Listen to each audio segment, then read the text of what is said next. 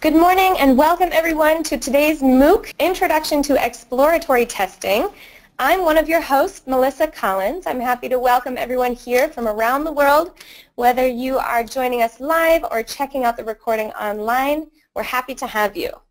Um, this is our first MOOC of 2017, and you can expect to see these sessions offered every couple weeks from now on. For anyone who is joining us for the first time, I'll give a brief introduction of what to expect here with us. Um, if you haven't heard of a MOOC, the term actually refers to Massive Open Online Course. So that means these sessions are available to everyone. And these MOOCs are delivered by trainers here from the Academy at Tricentis, and occasionally they'll be delivered by another subject matter expert so that you get all the information you need from the experts. Um, our intention with offering these topical courses is to focus on teaching actual hands-on skills in Tricentis Tosca. It's a little bit different than the webinar series that we have here at Tricentis, but you should be able to apply everything you've learned from these MOOCs right directly into your everyday work in Tricentis Tosca. So another important point is that MOOCs aren't meant to be a substitute for training. Um, we do have Academy courses here, um, but the MOOCs are a great source of knowledge that can be used for additional training to do in addition to um, your training courses. And the courses are still where you'll see um, your your hands-on exercises and, and get the full picture of Tosca, and that's where you can earn your certificates. Okay?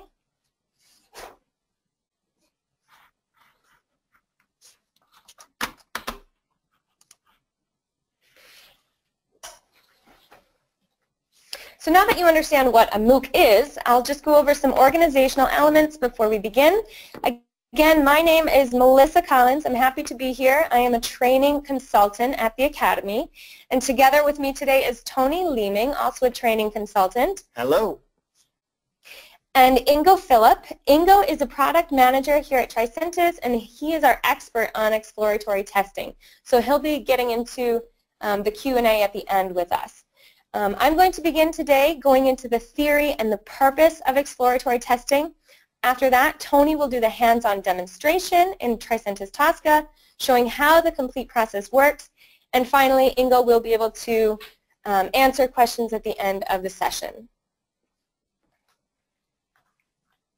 The best way to reach us um, now during the MOOC is to use the question box on your GoToWebinar interface. Um, you all as participants have been muted and that's just to make sure you can hear us perfectly but please feel free to interact with us, ask us questions, add your comments into the question box as we go along. We love to hear from you and we'll either be able to answer them in the chat box or we'll be saving your questions for the Q&A session at the end. That way everyone can benefit from learning the answer to your question. So just hold back, sit tight if we don't get to your question immediately. And final note, this session will be recorded and it will be made available very soon in the next couple days on our Academy webpage. So look out for that. Now, today's topics are what is exploratory testing, creating exploratory testing sessions, capturing interactions of exploratory scenarios, and finally, the exploratory testing agent. Our first question of the day just what is exploratory testing? Let's get that out of the way first so everyone has a clear understanding of the basic theory and purpose of it. So in simple terms, just like manual or automated testing, exploratory testing is just another method of testing a product. We know that testing is done to find potential risks, which can then be evaluated and reduced before the product is delivered. And exploratory testing can be done in a number of ways. It can range from being very structured to completely free-formed. So it's not within a box. It doesn't have standards. It has to reach a certain structure. What's very important with exploratory testing is not the structure, though. It doesn't come down to that. What's important is that is the tester's perspective and how they actually think while they're testing. So let's look at a couple testing methods. Imagine this here represents a product and all of the red areas are your areas of potential risk. The risks may vary from being um, convenience issues, security issues, reliability issues, and so on. You can see that here on the screen. And this is where your testing methods come into play. What strategies are you going to use to find your risks? So let's picture the path an automated test case would take through a system. The path will be predetermined, pre-designed. Its purpose could be to verify one thing, and along its journey, it may encounter some of your risks, and it would bring them to your attention. In order to test every path within with automation and find every risk using only automation, you're really going to need a lot of test cases. I think we all know that. Um, but we also know that time and resources might not allow for it to automate everything. So let's picture the same path but executed manually. This test coverage of the system would actually be wider. You can see here that the manual tester would also notice risks along the way just by the simple fact they're viewing the system while they're testing it. They're going to notice more than just the mechanical automated test case would notice. Again, although this method increases your coverage per test case, we need to consider the time we have available. So how can we have wide test coverage but still use our time and resources wisely? Well, that's the beauty of exploratory testing. So in a scenario, the tester would start off with a testing idea, possibly inspired by a requirement, and then they would go from there. They make decisions along the way, just as a user would, of where to go next. And as they explore the system, they would naturally identify the risks and they would document them. And this is a scenario. This is not a test case. You can see it looks very different. And then they could start over with the second scenario and go through the system with a different focus in mind. And these scenarios aren't just randomly clicking through an application, though. Decisions need to be story-based, motivated, and credible. So that means what is likely to happen in a real-life situation. So exploratory testing is perfect when you need to analyze potential risks and determine if there are even problems. And once you have your known risks that need to be monitored, specification-based testing is better suited. You can see that in the middle of the slide here. Specification-based is only focusing one specific area that you're already aware there's a risk. Exploratory testing goes beyond the boundaries. It goes around into the unknown a little bit. And you need both types of testing. You can't just have one and not the other. So one main difference between specification-based testing and exploratory testing is that the first is done mechanically. We saw that with automated test cases, manual test cases. Um, it's very mechanical. It's predetermined, pre-designed. And then the second one here, the green, exploratory testing, exploratory testing, is done intelligently.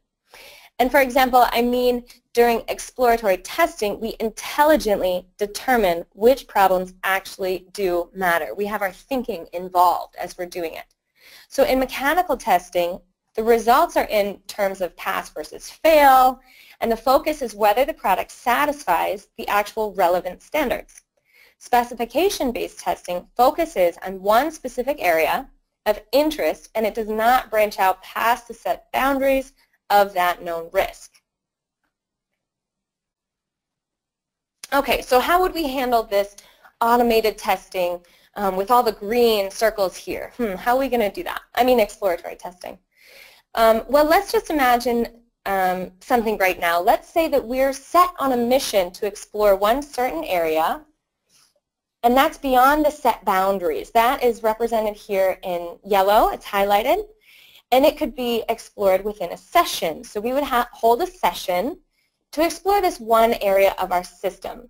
So let's picture a group of testers. You can see them in black, um, focusing on this one area of the system. And the person represented in blue would be the session owner, the person kind of organizing, facilitating, and checking out the results from everyone. And if this is a real session, all of these people would come together for about two hours and they would test that one area and then they would review all of their results when they're finished. That's basically what a session is. So let me go a little bit more into that because we will be seeing it in TOSCA very soon. A session is an uninterrupted block of testing and it takes place over a fixed time duration and then that can be reviewed. So each session is associated with a mission that states what to test and what problems or what opportunities should be looked for. That is already predetermined. Um, and this mission objective, or those kind of suggested guidelines, that would be known as a charter. And we actually have some great webinars on our website um, done by Ingo about exploratory testing that go into great detail about charters. So if you want to know more about that, just check out um, the recent webinar from Ingo. It's on our website. You can register for that. And you can find out more about how to set up a charter, what a mission would look like if you're going to be the session owner. And, but for now, uh, as we go into this quickly, it's just good to know that the charter, or the mission objective, it would not be it would not contain very detailed guides. It wouldn't be very specific. These are the guidelines you have to follow. But it, it rather has suggestions of what to look out for and so on. We have to keep it, you know, exploratory. It can't be too, too specific what is expected. Um, so many different individuals can participate in the sessions, and there's always going to be one owner per the session. And you can see the list here, some examples of who might be involved, who might be doing the testing. And sessions usually last two hours when the tester spends uninterrupted time focusing on the mission. And between each session, debriefings are held between the session owner and the tester about the session report. So again, more um, guidance is available for arranging like a debriefing, um, and how that might be arranged. If you want to check out the other webinars, you can get more into detail about what we recommend um, to debrief what needs to be done, what has been done, etc. So keeping this session-based testing in mind, um, in just a minute, we're going to hear from Tony about how to create and work in a session in Tricentis Tosca, and that's going to be from the perspectives of the session owner and from the perspective of a tester. And to begin, he's first going to give us a detailed tour of the exploratory testing section of Tricentis Tosca. And if any of you have taken our online courses um, or even met with a trainer, you're probably familiar with the demo web shop, which we use for many of our trainings. And so you're going to see a little bit of the demo web shop today as he uses it as an example. Um, so yeah, so thanks for listening to The Purpose and the theory behind exploratory testing. And now we'll just switch it over to Tony. Okay, good morning everybody. Lovely to have you all here. Just bear with me a second. I'm going to use I'm going to be using uh, Tricentis Tosca for the duration of this uh, well, uh, MOOC now. So I just need to quickly set, change some settings in the uh, computer so that you're viewing it and not the PowerPoint. So just bear with me for one second. Okay, so what I'm going to quickly do is change it so you can see my screen entirely and you will therefore also be able to see Tricentis, Tosca and what we have got for you here. So one second. And just change.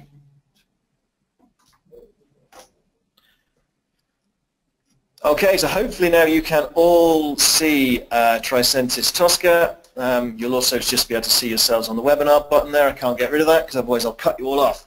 So now we're going to talk about what Tricentis Tosca can do for you in your exploratory testing area. We all know Tricentis Tosca is awesome at automation. Um, so what we've now done is we've made Tricentis Tosca awesome at execution, uh, at exploratory testing, and we do this in the green section in the execution section here. You all know this, hopefully, you all know the sections that we've got, the test cases, etc., etc. Well, within execution, you will find the exploratory testing session. Like all sections within Tosca, you can use and set up a folder system to allow you to organize yourself in the way that you see fit, the best way for the testing structure that you guys are taking. So for example, we've gone for an agile style uh, folder structure for you. It's a very simple, it's just something that came to mind and that I popped in. It's probably not a very accurate reflection. So for example, we've got first release here. We've got sprint 1 and sprint 2. Within the first sprint, we've got a red team and a gold team, each with their leaders. And within the red team and gold team, we then have the sessions that Melissa was just talking about. So we've then got the um, actual sessions themselves. So each folder contains the sessions. You can have multiple sessions per team, per sprint, however you wish to do it. Um, Session-based testing is what we've gone for within Tricentis Tosca. The reason being it's the most applicable method to apply exploratory testing in a large-scale implementation. So you can plan the exploratory testing, and this fits within the, the, the idea of what Tricentis Tosca is, is all about. So let's have a look at a session, because this is really where the key is, and let's face it, this is where the magic of Tricentis Tosca begins. So we'll have a look at session number one from Red Team for the moment. So if I click on that, we'll start off with the session view. Okay, so you've got the exploratory testing ribbon at the top here. We'll talk about various parts of it as we go along, but what we're actually going to focus on right now is we are going to focus on the exploratory testing section. Hang on, I'm just going to get the highlighter up. Okay, so we're going to focus on the spotlights here. So first of all, we've got the session owner. Every session needs an owner. The session owner today is myself. So uh, Tony, that's me. If I was in a multi-user environment, I would be able to select this little button here, and I would actually be able to choose from all the multi-users to choose the session owner. I enter my email address. Email addresses are important within exploratory testing of Tricentis Tosca We'll get to why in a little while, but it's uh, it's it's very very it's very very powerful, very very useful, and um, we really really really like it. So we'll get to that in a bit. Session status. So at the moment, my session is in progress. This isn't something I can change as a session owner because it's dictated by what my exploratory testers are up to. So if they haven't started, it would be not in progress. So here I've got session objects. Within the session objects, I can add anything that I, as the session owner, believe is useful for my session. So for example, we've got two different, well, three, two different types of objects within here. First of all, we've got a couple of test cases. So, for example, I could think as the session owner, my focus of this session is going to be on looking at the login and logout functions of um, the web, the demo web shop. So I could include a couple of test cases that have already been automated so that the testers can have a look at them, to have a look at the flow, for example. I've also got a test sheet here. This possibly could show the testers, the exploratory testers, what's already been tested and what's, what's planned for the automation so they could look and don't have to worry about it. If I want to add something from Tosca, it's extremely easy. So let's add a test case. I'm just going to pop up the test case section I'm going to go back to the execution section and just give myself some room. I want to add the navigate to shopping cart test case, for example. I just simply drag it. I've already done it, so let's choose another one. Simply drag it, drop it in, and install it there. Interesting, I'll try a different one. Excuse me. And it's done. Third time lucky. So there you can see if I click on this one, I've got the login. I want it, don't want it anymore. I remove it. Okay, so we don't need test cases anymore, so let's get rid of the test cases. And back to the execution. You can add anything in there, Excel worksheet, PDF, Word document, elements from Tosca, um, pretty much anything you need or what you require, you can add it to the session objects section. So very useful. We've then got the session, uh, the session scenario section, which is here. This shows that there's 11 items. This is what, these are the 11 items that have so far been created by my exploratory testers. It's not that I'm setting a target of meeting 11 items. They don't have to do 11 items. This is the items that the exploratory testers have, the scenarios they've already created or in the process of creating. And then we have the session duration. So, so far they've spent five minutes on testing. If you look down here, you can see John's paid, gone for four minutes, and Paul's done one minute. So this adds to the duration of total of five minutes. We've then got an overall session um, status. So we've got 25% are passed, I've got passed test cases, 25% are red, so failed, and the rest have got, as have currently got their result. We've then got the list of our exploratory testers here. So we've got John, Paul, George, and Ringo. If I wish to add one, I simply can click add, and we can add another one there. We don't want to do that just now. So we can just click and add to another, add another one. You'll notice all they've all got a um, a simple uh, little envelope. This indicates whether or not the um, this indicates whether or not the uh, tester has been invited Again, we'll get to what that actually means in a little while. You've then got uh, an overall sort of status wheel here. It gives, it's two-dimensional. It tells you whether or not the, the testing is in progress. So in the case of Paul's, it's in progress. And it also gives you a guide to what's happening within their test uh, scenarios, within their uh, within their testing. So you can see some of you can see some of John's. There are some red, which means that there's some um, scenarios which are, are, failed, and in Paul's, there's not. We've then got the charter description. Now, a charter summarizes the goal and prov or provides an agenda for the exploratory session. It's a clear mission for the session, a statement of how the session will be focused, um, and you should define a charter before you start the session. Now, as you said, Melissa very, very briefly touched on this and also mentioned webinars, but there are really some incredible webinars uh, from Ingo available on our webinar session. If you want to know anything, if you want to know how to set up a charter, how to define it, plus loads and loads of other really, really good information, um, please do check those webinars out. Um, as, as, as was said there on the previous webinar section of our Tricentis website.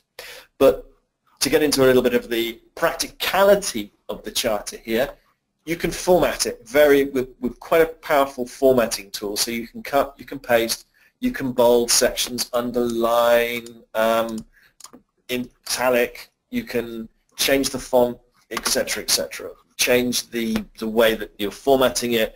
You can add links, you can add images, you can have tables dropped in here, and you can print it. So you've got a really very powerful way of making your charter look good and really um, and look good and be attractive and really give people the message that you want to do.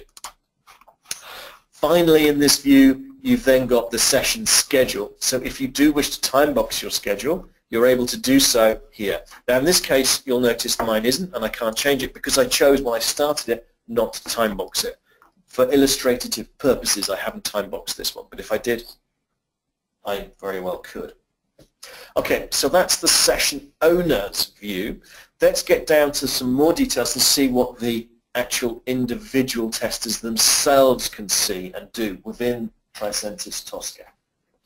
So let's have a look at John. So this is John's view. It's very similar in some ways to the view that you've already seen of the session owner, but slight differences. So first of all, you've got the name of the tester, John. There we are, that's his name. And we've got the tester's email address. Tester needs an email to be able to do um, the exploratory testing agent, which we'll be talking about in a minute. Test status in progress, in this case, is, is working in progress, so it's able to be, it's, it's there, he's done, he's in progress, working away. Test object. This is the same as the test object for the uh, session administrator, uh, the session owner but it's different in that it's objects that the tester might wish to have. So if the tester, for example, wished to have that PDF that we were talking about before himself, which interestingly enough was a PDF on a guide to exploratory testing, which is available to download from our support portal, we think of everything here, um, then he could have that added to himself. Again, you simply drag and drop and it's there and he's got it himself available to look at. So again, elements of Tosca, Excel sheets, however you want to organize it or plan things himself, he can add it to his test objects himself. His test scenarios show the eight test scenarios that he has um, completed so far, or he's working on so far, and the test duration, which he can set himself, of how long has he been doing it for. So actually, it wasn't four minutes, it was four hours. I can't read the time. So let's just change, he's now gone for five hours. So he's now done, he's been working for five hours and 59 minutes. So if we now quickly, just as an illustration, go back to the session, you can see the time has increased on there. So there we go. So John's been working a little bit more than he expected, and so therefore to help the time boxing, he's increased it. You can also do by minutes as well here, so you can change the minutes, um, especially if you're looking at a two-hour sprint, for example, uh, two-hour exploratory testing uh, sprint, I suppose. You could minutes will be much more useful than it would be than hours would be. So you've got the minutes there as well. I'm going to cancel that. Okay. He himself also has a status bar. In this case, you can see that 75% of uh, John's uh, scenarios are passed and 25% of them have failed. And you can see this is reflected here. So we've got green ticks on the test case, on the test scenarios that have passed and a red cross on the test scenarios that have failed. Very similar, I think, to what you would have seen if you'd been using and doing automation um, and automating test cases. It's a very similar, the iconography is very, very similar to what it's seen before. So it's a very good overview for John to see exactly what he's doing and what he's up to. Um, there's more though. So we've got his capture scenarios. We've already sort of discussed this. This is the capture scenarios. This is what he's done so far. These are the eight scenarios that John has been looking at in um, over the last five hours and 59 minutes that he's been working on this uh, session. Just going to expand one of them. This is the login scenario. And you can see these are the things that he's done. These are the actions that he's taken. These are the steps that he's taken. You can see that we've got here images of what he's done. We'll go into this in more detail in a second, but there's the images of what he's done so far um, and whether it's passed and failed and further information. We'll look at all of this and how it's generated in a second, but already you can see here this is a very, very powerful way and a very um, broad way of looking at a lot of information that's very, very easily displayed for you and easily displayed for as well for the session owner. So all of this information is there, available and viewable for you very easily. We've also got what's here is the test summary tab. The test summary tab is again for the exploratory tester to put his thoughts, his feelings, his ideas about what he's testing. At some point there's going to be the debriefing that Melissa's already mentioned. So for this debriefing he needs information. He needs to think what's important, what's good, what's bad, what does he need to work upon. This is when he can add it to the test summary so he's got it listed.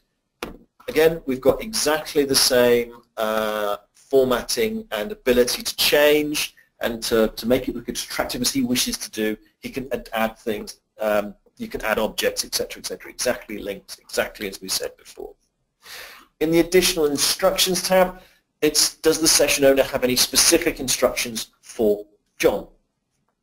Now, again, I'm going to point you towards one of Ingo's um, wonderful webinars the webinar that he did last week um, in in, contained a huge wealth of information on what sort of these sorts of things could be. We talked about, the, he talked about um, tours, the tour method of using of, of exploratory testing, but he also talked about, um, this sounds a bit weird, but Edward de Bono's six thinking hats, which is extremely powerful, it's extremely powerful ideas that can be added into testing. Um, so really, seriously, I urge you to check these webinars out. Um, extremely large amount of information delivered extremely entertainingly as well. So, Ingo's now laughing. Uh, I'll take the bribe from him a bit later. um, so, that's what the scenario uh, looks like for John. So let's now look at the actual, stop looking at the view and start looking at the actual mechanics of how we do exploratory testing within Tricentis Tosca. The biggest problem in exploratory testing is how to document everything you're doing. If you think that every step you take, you need to potentially document to see where you've gone and how you've got to, it, depending on how you're doing it, writing it down or Excel or whatever, it could take longer to document the steps that you're taking than it actually can to click the button on or do the action or take the action that you've got in the system that you're testing, the system of the test. So what we've done at Tricentis Tosca is we've tried to offer solutions to make this easier for you and to make sure that you've got a, a way of making it standardized across all of your exploratory testers, have a way of recording it and displaying it in the same way to make it as useful as possible for the session owner and for those that are actually looking at the, um, the product owners, so on and so forth. So let's create some scenarios. So John is going to continue his work and he's going to start a new scenario. To do so, we would click on the Start New button right here. This will launch the exploratory, the scenario manager. Interesting. I'm just going to quickly switch off with PowerPoint. Uh, and there we go. Hang on one second. We appear to be having a... Just bear with us. We're having a slight technical issue here. There we go. Okay. So here we have the scenario manager. Now within the scenario manager, we are going to capture our uh, exploratory scenarios that John is working on. So how do we do that? We have three methods of creating and, and looking at our scenarios. So let's start with the most basic one. So first of all, we're going to create a scenario. We're going to call it shopping basket for the case of something to do, just an illustration. And we're just going to manually create a step. So step one would be open Internet Explorer. Step two, click the shortcut, etc., etc. I'm sure you can you can see what we see where we're going here. We can click that it's all passed. We can add a screenshot if we wish, so we can add a design screenshot. Um, we can add attachments. You know, we could open it, delete. We've got quite a lot of, of ways of of controlling and looking what we're doing here. If we wanted to set it as failed, we can set it as failed as well by clicking on set failed, etc., etc., set passed. So it's all, it's very easy, it's very manual, so it is a good way of, of organizing and duplicating and showing what we've got, but it's not the quickest way. It's, it's quicker than, say, writing in Excel, but it's not the best, not the best way, really. It's quite a lot of work. So let's save and close. I'm going to pop Tosca back up here. Uh, so what are we going to do now? We are going to look at another way of doing it. The second and the um, and, and a better way of looking at it. What we're going to do is we're going to take a video. So I want to do a scenario. We're going to uh, shopping basket again. We're going to navigate to the shopping basket by um, and way that we do that is we're going to do it by video. So I just click on the video icon, which is right up here. And as you can see, it's loading. I want to create my secondary screen, and I'm going to record. And you'll see here that already we've got here three little icons. I hope you can see this. Uh, three little icons, stop, pause, and that we've recorded nine minutes of video. So I'm going to quickly launch Internet Explorer. And there we go. Internet Explorer is working, opening. I'm going to launch the demo web shop. I am going to navigate to the shopping cart. There's my shopping cart. Let's have a look. I'm going to remove this item and update the shopping cart. And that's it. I'm now going to close Internet Explorer. That's my test, that's my scenario done. I'm now going to stop. And there we are. Now, what's launched is the video editor. This is what you've just seen me recording. And you can see that there I am showing you everything here and that the video is now playing. Okay, that's, that's cool. We've now got a really nice video here. But it doesn't stop there. The magic will continue. So let's just pause it a second. Let's say, for example, I've spotted in my exploratory, my exploratory um, test, I've spotted there's an error here. So let's show that apparel and shoes has a problem. I'm going to add a box. I'm going to add an arrow to that box, and I'm going to add a text box saying apparel is the wrong color, for example. Okay. Okay, we carry on. We press play. We keep going. Oh, let's say there's another problem here. The computing and internet is spelled. It's got an issue with it, so I highlight computing and internet. I add an arrow example so that, and so on and so forth. I think you get the, the picture. And that's done, so press, we go, we press play. Now, one of the key things for us, if we were looking at this as a failed test case, is where are the problems? So You'll also notice on the timeline we've got two little red dots. We've also got two tabs here. I can click those tabs and it will take me directly to the areas where there is an issue. So I can scroll between the two and where I've annotated and where I've made notes on the video. That's really good. It means that whoever's reviewing the video can actually go straight to the important thing to look at what the problem is. Okay, we've also got a large quantity. If you remember the first, the first chunk of the screen was actually me showing you the screen. So what we can also do is we can whiz up because we don't want to waste time looking at the wrong thing and we can trim that out. So I've now trimmed that video. So it's now much shorter than it was before.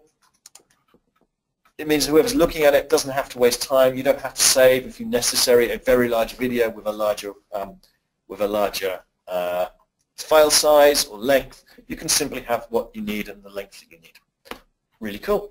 Really good. Save and close. Um, and it's there. We click it on past. Thank you very much. Save and close. We've done. John's shopping basket is there with a video. You can click on the video, click on the MP4. It's done. Okay, very nice. That's a very, very useful, very powerful tool to record your scenarios. Okay, let's do the last one. The last one is by far the best. So let's start on new again, and this time what we're going to do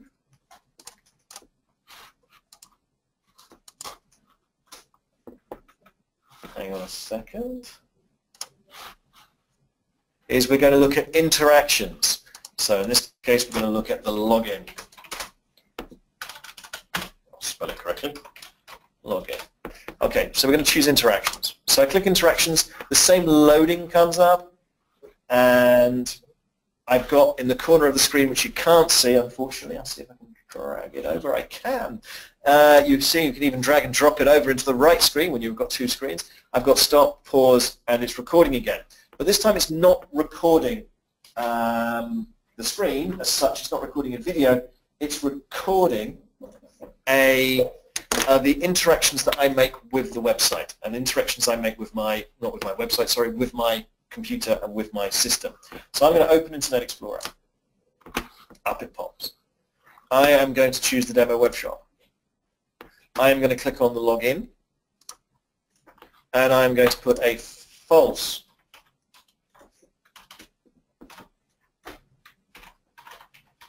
email address in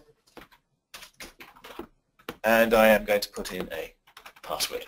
This is wrong. It should fail. It's failed. Excellent. That's what I was wanted to see. I'm now going to stop. Within the Scenario Manager, we have now got a list of everything that I've just done, all the interactions that I've just taken. In the top, in the test step, we've got what I was interacting with. So in this case, I was interacting with my taskbar. In the test step value, I've got the interaction of what I did. So it's actually telling me what I did. So within the taskbar, I clicked on Internet Explorer. Within Webtron, which is the name of the uh, web page that I was on, I'm clicking on the demo web shop button, etc., etc. Let's go down a little bit, a little bit further. I typed test in the email box here. I realized I'd spelled it wrong, so I pressed back and I changed it, and so on and so forth. So it's showing me everything that I did. We've then got a screenshot of everything that I did, which is shown here which I can then look at. It's a view that shows everything that I've done, every step that I've taken. Um, it's good. It shows logically everything that I've done. I've clicked through it. It's showing every step that I take, but it, we can do better than that. So let's have a look at the design view of this scenario. So I click on design, and what I get instead is I get a um, a way of, of looking at it in a better expanded view that makes it much easier for me to look at what's been done and how it's been done and so on and so forth. So if you look, you've got a you've got my uh, um, desktop. So let's have a look at something more interesting. Let's have a look at the demo web shop. And look here, I've got that I clicked in the email box. It showed that I've gone into the email. I go to the next one. And it showed that I've showed test T-E-S-R-T. It's taken a screenshot of that. Here it's showing what I've typed in here. Here I've got that I've done a press back. Okay, that's really the same one. Let's merge them. So I drop them here. I've merged these two. It's now the same test there. Test. I don't need to know that I press back. That's not important. My Lack of typing skills isn't part of the test. So and so on and so forth. So I've got demo web shop, uh, log in. I've clicked on the login button. Um, log in on the Internet Explorer, it's got that I've entered the password. It shows me what the password is. Really, really useful. So I'm going to keep all, go back to the scenario, and I'm going to save and close, and let's see what that looks like. So there's the login.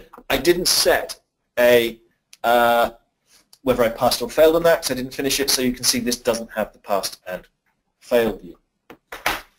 So all very, that as you can possibly see is very powerful, and if I go back, when I go to the login, I can expand it and I can double click on these, and there it is.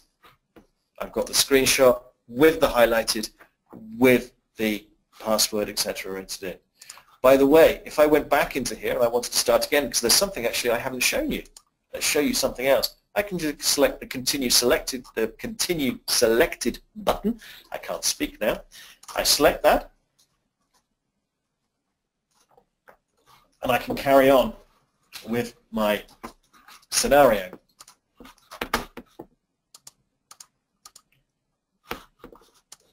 As you can see. Okay, so I can continue with my scenario. Bear with me. It seems that we sometimes have problems with uh, recording the... There we go. And there we go again. So there it is. It's, we have some problems with the webinar and the capturing of the screens. It sometimes causes a little bit of a conflict between uh, our, well, my computer and other things. So this, this doesn't operate in real life like this, I can guarantee you. So I want to continue then I can continue as I go along. Also what I wanted to show you was I can, if I wanted to look at the screenshot again, I can double click it, I can open it, and I can also edit it again. So if I don't think that box is big enough, the click box here, I can open it and I can highlight it, I can make it bigger. I can, if it's click is click's big for me, so I want I could make it bigger, I can change the size of the font, etc., um, etc. Et so I can still edit everything that I've done we don't have to just go what we've gone with. So we'll save and close, we'll save and close. Okay, that you can obviously see is a really, really powerful way of recording our, um, our um, your scenarios. Um, some of you out there might be saying, well, that's a great exploratory testing scenario. Could I make that into a manual test case? You know what? You can. And let's do it. So we select on failed login, for example. I hope I haven't done this one like last time. I right-click, I click Create Manual Test Case, and by the power of Tricentis Tosca, so it is. We have created a manual test case. Just like that. Very, very easy. Now, we don't just stop there, though. Um, if What if you wanted, say, for example, this was extremely important uh, test case for you. What if you wanted to turn that into a automated test case? Well, we can do that for you as well. That's a video. All you would need to do, and I'm not going to show you exactly how we do this because it would take, uh, because it's a whole different course. What you could do, I'm just going to create another manual test case here, is simply add a module. If you knew which module so for the login module, you can add the module login to it, and that would create an automated test case, an automated test step. So you can do that. This is a whole other course, though, to be honest with you. But it could, from a, from creating a exploratory scenario all the way through to creating a manual test to creating a automated test step. It is a few clicks away. Okay, but let's also look at the another really cool feature. Um, let's look at the exploratory testing agent. So they're going to go back to execution. I'm going to close my test cases. We don't need those anymore. John, Paul, George, and Ringo. We know that they've all been. In, we know that they're all there. You'll notice that some of them are invited and some of them not. I'm going to go to session two now and look at Geri, Mel, and the girls. You'll notice that two of them are off. They're up and running and they're testing, but Mel B, Victoria, and Emma are not. Let's change that. I want Mel B to join in the fun, and she is going to start testing. So what I need to, what I I need to do is first of all make sure she's got her email address in. What I'm, she has. What I'm she's there. She's Mel B. As session owner, I select Mel B and I invite her. My email client is opening right now. It's not open, but it is now opening. And what I have now is I have an invitation for Mel B to join the test, which I will send from my email client. Now I'm going to pretend to be a Mel B for a while, a little bit of a dream for me really, and I am going to open the link that I've been sent. And you'll notice that I've got a link to the exploratory testing agent. What I'm going to do is I'm going to install that and I'm going to show you how quickly this will install for you. It's all held on the server that you would set up when you set up um, Tricentis Tosca originally, so it's all held on your servers. We could climb, uh, you click Start Download, we click Run.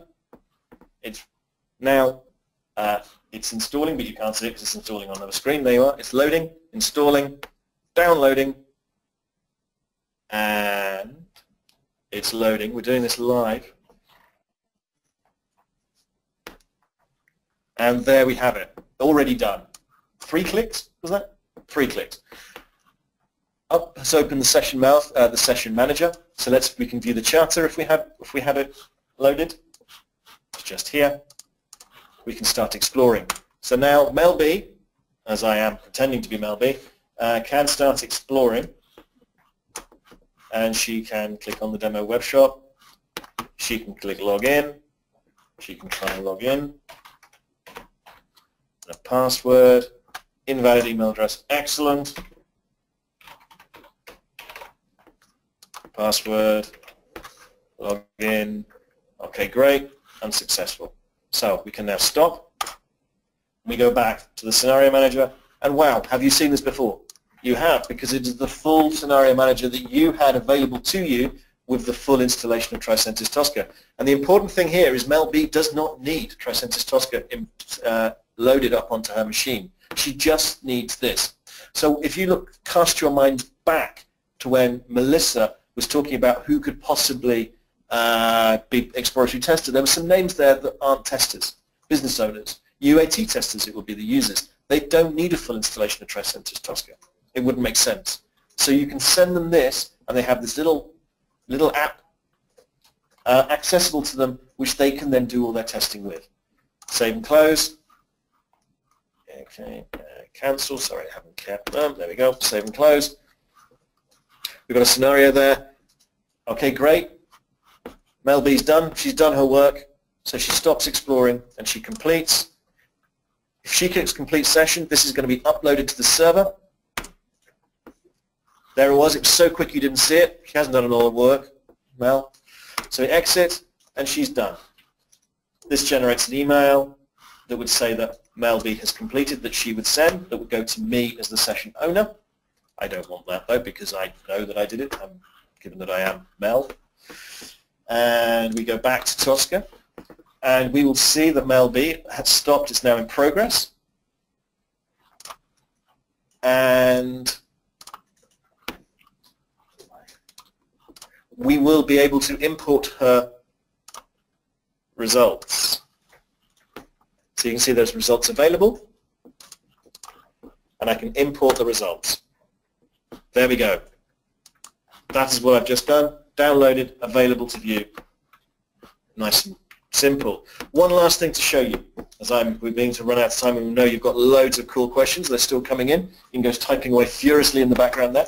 So let's look at how we can actually document and have a look at how we can look and see the documentation that we can do with this. So we can export the document um, and so that we can use it. So we click on the scenario documentation tab, we get some options, and we click export.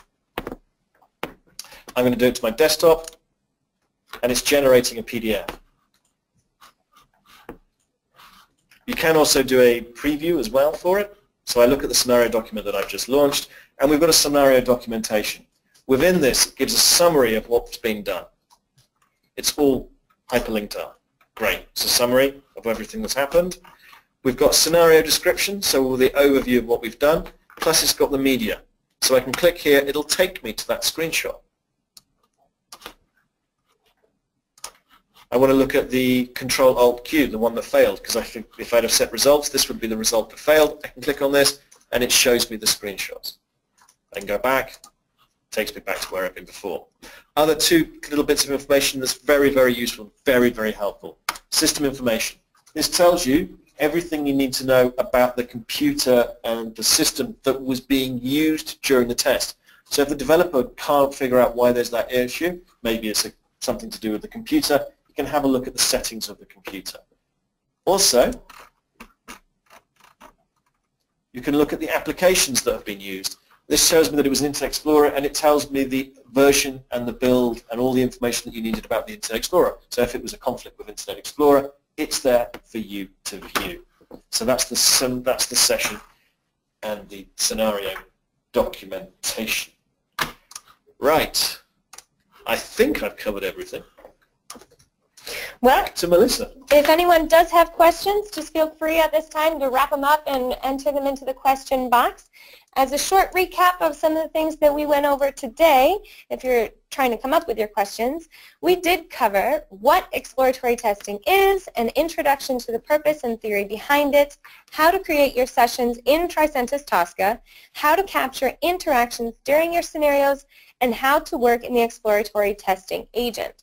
So now we're just going to move into our Q&A session. Thank you very much for posting your questions. Thank you for your participation. Um, feel free to add a couple more at this time. We'll try to get to everything we can in the next few minutes. And I'll pass it over to Ingo, who has been keeping track of what we'll be covering now. Okay, thanks so much, Melissa. So there are a lot of questions coming in, so thanks for that, guys, and thanks for the feedback. I really appreciate that. Um, but just a few questions uh, uh, I would like to dive into. The first one is, um, can we assume exploratory testing is also called as ad hoc or usability testing? So um, there are just two answers for that.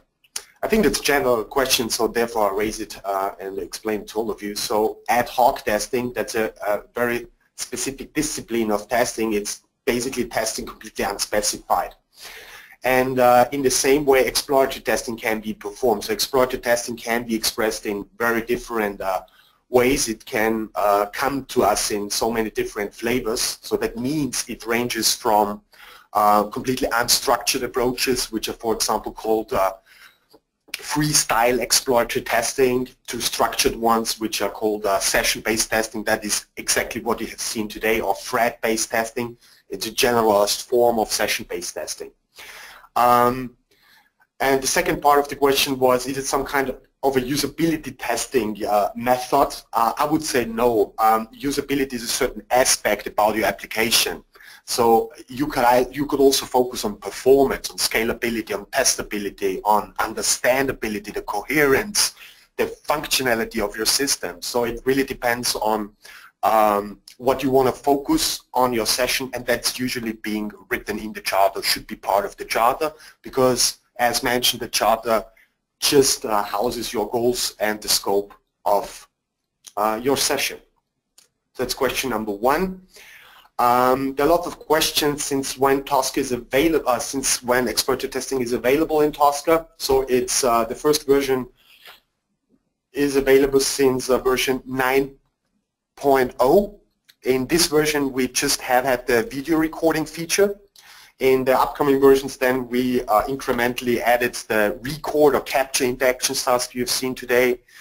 And uh, now with the uh, latest version 10.0, we've uh, implemented the standalone exploratory testing assistant, which we call the exploratory testing agent, thing you have seen before. And there's a question associated to it. Uh, do I need to have Tosca installed on the machine in order to use the agent? No. Uh, you don't need to have Tosca installed. You just uh, download it. There is also no server configuration needed on the machine for the invited person. You just download it, use it, and share the results. And that, that's the way it works. Um, there's one more question. The exploratory testing in Tosca is similar to parallel execution. They just share more or less the same icon, so don't get confused. Uh, the component you were talking about most probably is distributed execution. And uh, here we also just use some kind of a calendar icon to highlight uh, the test event. And uh, because of the fact that a session can also be regarded as some kind of a test event, we use similar icons. So don't can get confused about that. Another question is, do I need to scan the application first in order to record uh, the interactions? No, there is no scan required up front. It really just scans during your exploration. And uh, in the background, we also don't create modules. So we don't automatically convert your scenarios into automated test cases. And there's a reason for that, guys, because first of all, it would take much more time to do that. Second, 90% of the stuff you're doing won't be of interest after you have ended your session. So we don't want to create so many uh, crap actually. you just want to just will throw away then at the end of your session. And as you have seen, you are able to convert uh, your exploratory scenarios into manual test cases and those can then be automated in, uh, in simple terms.